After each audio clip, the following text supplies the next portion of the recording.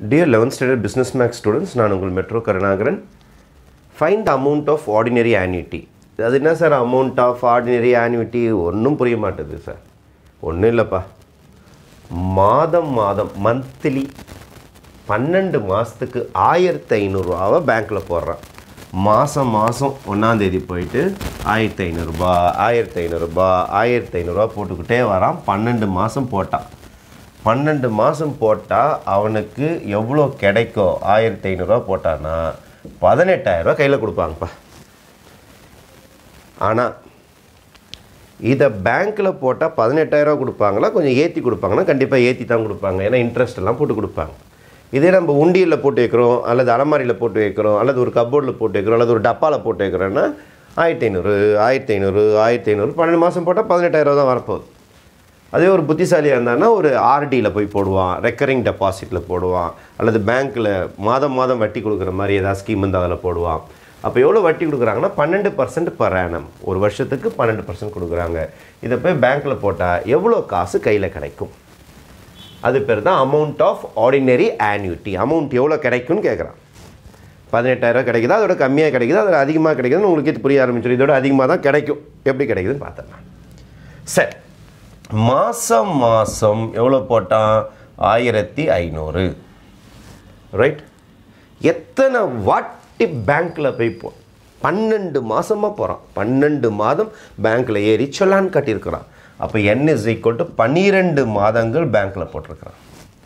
Rate of interest பன்னிரெண்டு percentage பன்னிரெண்டு பர்சன்டேஜ்னால் பன்னெண்டு பை ஹண்ட்ரட் பர் இயர் இது ஆண்டுக்கான வட்டி பர் ஆனம் ஆனால் மாதம் மாதம் போட்டுக்கிறான். Per month போட்டுக்கிறான். அப்போ இதை பர் மந்த்தாக மாற்றணும் வருஷத்தை எப்படி மந்த்தாக மாற்றுவீங்க பன்னெண்டால் வகுத்துடணும்.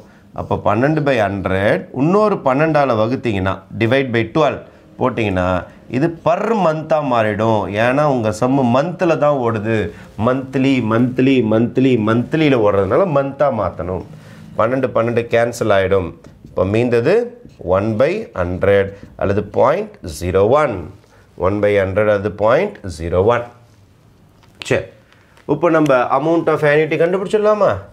அமௌண்ட் ஆஃப் ஆன்யூட்டி ஃபார்முலா வந்து A by I bracket 1 plus i whole power n minus 1 இதான் formula what is my A A என்றால் என்ன? மாதம் மாதம் போட்டது.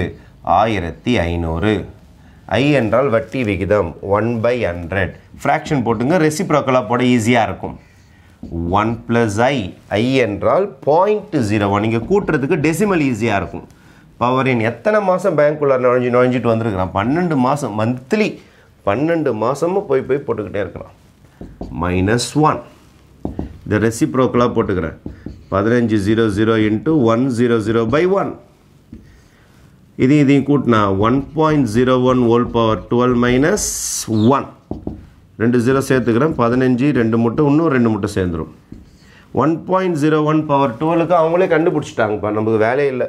One point one two six two minus one அப்போ fifteen zero zero zero zero இதில் minus பண்ணிங்கன்னா zero point one two six two calculate எடுத்து மல்டிப்ளை பண்ணி பார்த்தீங்கன்னா இதோட answer one eight nine three zero rupees